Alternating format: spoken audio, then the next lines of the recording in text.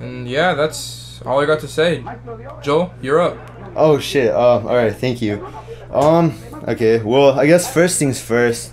Um, I'm grateful for the fact that we're almost done with this awful year. So you know that's something. Oh yeah. Um, but yeah, like on a more serious note, um, I'm just grateful for all of you. You know, like I know this year has been weird for everyone, but it's because of people like you that you know I've been able to pull through. Um, and you know, bas- basically what I'm trying to say is I'm grateful for all my friends and family.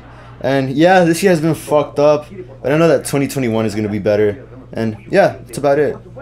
Yeah, I like that.